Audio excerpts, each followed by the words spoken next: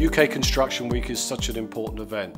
If we look at the challenge we have in this country in terms of construction over the next 5, 10, 15, 20 years, we need an explosion of activity, whether that's things like HS2, more schools, more hospitals, or specifically more homes.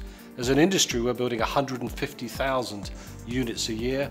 We need 200, 250,000 units.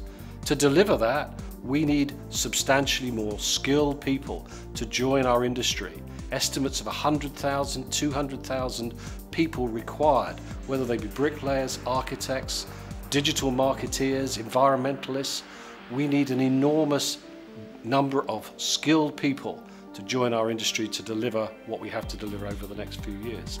That's why we're involved in the careers uh, operation uh, at UK Construction Week. We'll have our teams there talking about what it's like to work in the construction business and the house building business, talk about the sort of skills that we're looking for, and hopefully people can have an opportunity to meet some of the young people that work in our business that have trained in our business and the sort of things they're doing today. It is an incredibly attractive industry to work in, but it doesn't have a great name. And I think at UK Construction Week, we've got to start to change people's views on what it's like to work in our industry.